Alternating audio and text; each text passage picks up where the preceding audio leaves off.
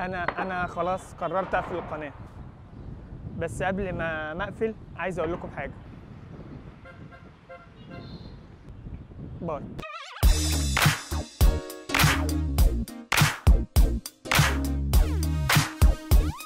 السلام عليكم ورحمة الله وبركاته. أم سيف طلعت وقالت حاجة مهمة. أنا ما عاد أنزل أي فيديو على اليوتيوب بس حابة إني لكم شغلة.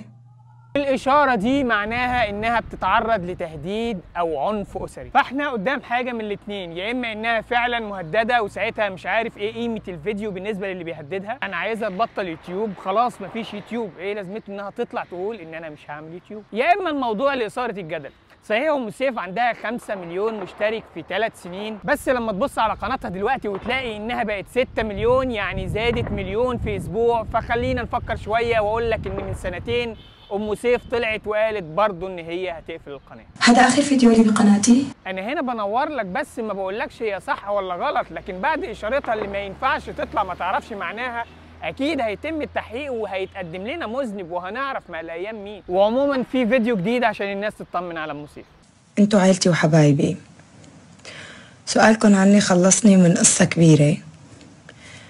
بخبركن عنها بس لتخلص يعني هي بخير الحمد لله والمشكلة اللي كانت اتكلمت عنها غالبا اتحلت ومع الأيام هترجع تاني لليوتيوب. طيب هو مين في اليوتيوب قال إنه هيقفل قناته وما قفلش؟ قررت إن أنا مش هعمل فيديوهات تاني؟ دوت آخر فيديو هتشوفوه لينا. هقفل القناة بتاعتي كلها يعني. غيكون آخر فيديو قناتي. آخر فيديو غيتلاح في القناة ديالي ده يا جماعة آخر فيديو لي على القناة. كل اللي سمعتوهم دول بعد الفيديو ده صوروا تاني عادي. الوحيدة اللي قالت مش هصور وصدقت هي هيلا غزال. يعني هذا آخر فيديو.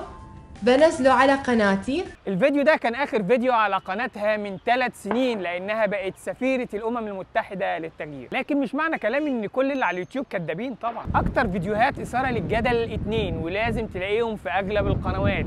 خلع الحجاب وغلق القناة. ودي فيديوهات أصحابها بيحبوا يشوفوا هم عند الناس غاليين ولا لأ فمش دايما بيبقى قصدهم سيء. كمان الفيديوهات دي بتعمل ريفرش للقناة. شوف أي حد مهما كانت قناته كبيرة لو التفاعل قل عنده وعمل فيديو مثير للجدل التفاعل بيرجع تاني. لكن هل في كذب قذر؟ أيوه سيادتك في كذب قذر. لما تطلع تقول إن أنت عندك السرطان وتحلق شعرك وتتصور يبقى أنت عندك مرض ألعن من السرطان، السرطان اللي لما بنعرف إن حد جاله وبنقول جاله المرض الوحش لكن أنت ما عندكش مشكلة تتاجر بيه.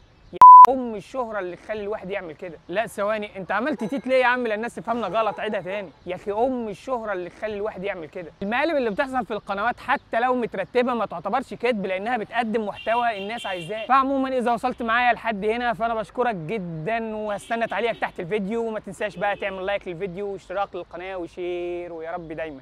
أشوفكم بخير.